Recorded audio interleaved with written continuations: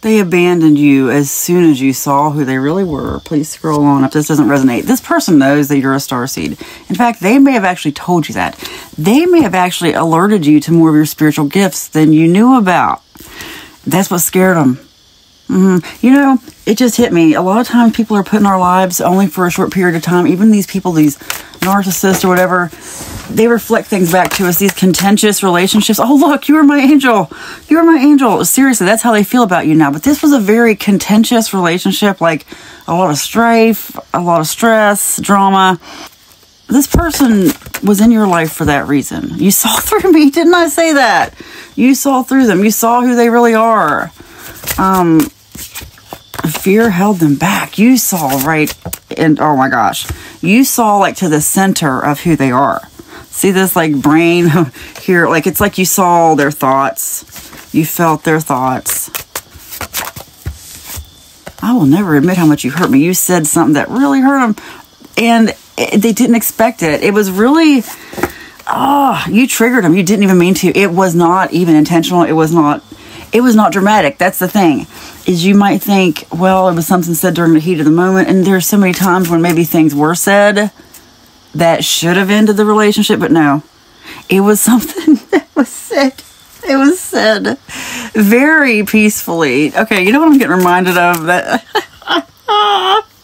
there's I didn't even watch all of Modern Family. I, I, watched a few years of it, but there was this one episode where uh, Phil and Claire. Okay, like Phil comes home. He's he he tells Claire this story about how he went to this restaurant and ordered a wedge salad. And he couldn't anyway. Suddenly, she, there's all this stuff in the story that he said. Okay, she goes nuts, like almost gets violent with him, if I remember correctly. Like just starts screaming at him, and, and uh, he couldn't figure out why. And it, it's kind of a mystery the whole episode. Well, it turns out she's angry the whole time because of the wedge salad because he finally he was bragging because he's like, "Have you ever had a wedge salad? It was so good." And he was bragging about this wedge salad, and she got she went off because she was like, "Do you know how many times I've told you to try the wedge salad?"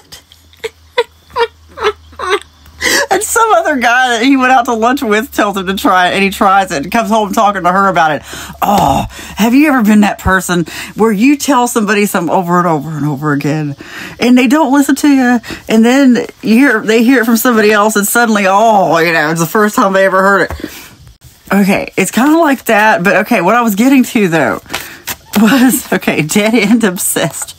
Oh gosh, let me go back because this plays into it. Dead end. They're obsessed now because there was a dead end. Because they left. You saw through them. It took them a while to to not be so angry about this. But just let me tell you this about the Modern Family. So the ironic thing, the reason Phil thought that she wasn't mad about the wedge salad was because it was so like not dramatic. Like there were other things in the story that should have made her angry. Or so he thought that's kind of what happened here. Whatever caused the distance, it's, you know, there were so many times when it could have been, it should have been, you know, ah, oh, could have had a big fiery meltdown ending, but it didn't. But no, this was a period of calm, okay? You said something in a period of calm. You said like the wedge salad and it set them off. And you know what? It could be a thing. I'm sorry to tell you this it could be a thing where they, you know, it goes both ways. I think about it because I, I feel like I'm that person on Claire's side where I'm like, oh, I've told you this, I've told you this, but you didn't hear me at all, apparently. But somebody else says it, and oh, you know, it's a big deal. I wonder how many times I've been on that side of it. You know? Ugh. Oh, I'm not saying I'm not taking up for them. I'm just saying they were really mad about something you didn't notice. Oh, oh yeah, yeah felt abandoned by you emotionally. They're real, okay. Okay, it's that simple. They were very upset about something you didn't notice. You did not give them the level of attention they wanted. You didn't notice something they kept trying to tell you.